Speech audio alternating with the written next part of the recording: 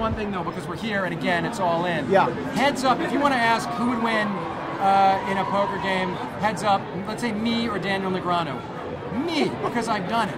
One time we played heads up, I beat him, right, Daniel? And uh, Oh! so, and you know, Phil Laak, uh, who's going to be here tonight. Why don't you ask him who won when we played? I love it. I love it. Thank you guys so much, All in Magazine. Really fun.